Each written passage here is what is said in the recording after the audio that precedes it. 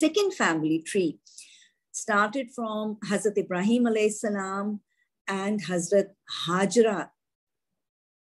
And uh, they had a son, Hazrat Ismail alayhi salam. By the order of um, Allah subhanahu wa ta'ala, Hazrat Ibrahim alayhi salam left the mother and the son in the desert. The desert which Allah subhanahu wa ta'ala himself mentions as Wadi Ghair Zizara, that it was a desert, it was a valley where there was no cultivation. And the mother and the son, the small, young, lactating infancy, in his infancy, the lactating child with the mother was left in this desert where there was no cultivation, there was not even a drop of water, no means of sustenance, no signs of life. And uh, Allah subhanahu wa ta'ala had asked Hazrat Ibrahim salam to leave the mother and the son there because it was intended that Allah's house, Baitullah, was to be constructed here. And uh, here, with Allah's blessings, the mother and the son, they survived, and the family tree which followed them. They were the residents of Makkah, and they were the family of Bani Ismail after Hazrat Ismail salam in this family tree, totally contrary to the Bani Israel, there was no book sent and there was no prophet sent for the next 2,500 years.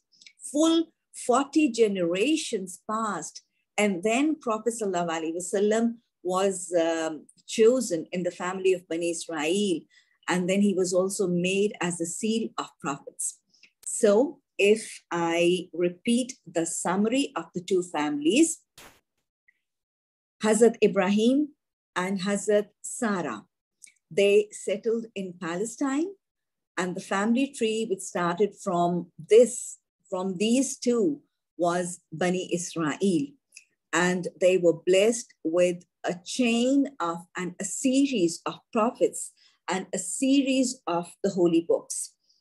And the second family tree, Hazrat Ibrahim and Hazrat Hajra. Hazrat Hajra and her son, Hazrat Ismail, they settled in Makkah. And the family tree which started from them was the Bani Ismail.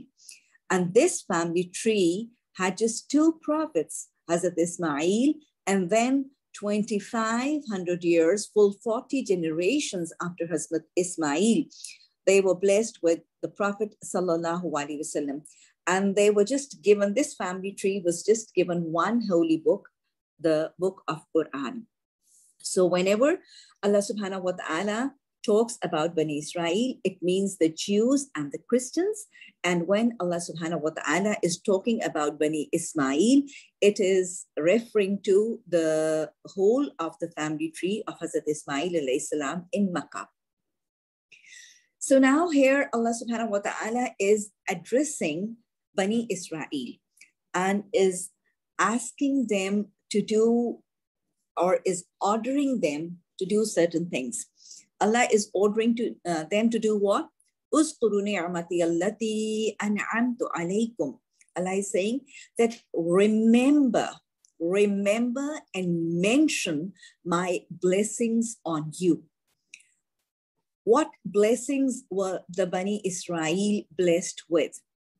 Allah had blessed Bani Israel with with a lots of blessings. You know, there was a chain of prophets, as Allah says, وَقَفَّيْنَا مِن بَعْدِهِ بِالرُّسُلِ Prophets and messengers, and at times even two prophets, and even times when there were three prophets at a time. And then there were the divine scriptures and the holy books. They were a source of guidance.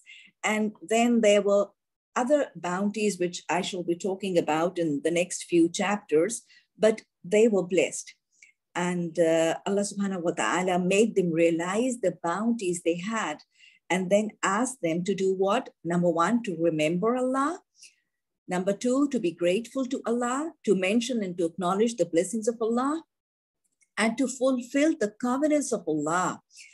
And, uh, and then in return, Allah subhanahu wa ta'ala promised that if you fulfill covenants of Allah, that Allah subhanahu wa ta'ala will fulfill the covenants which Allah has made with the people of Bani Israel. And then the fourth thing which Allah ordered them after uh, making them and after reminding them of their blessings was just to fear Allah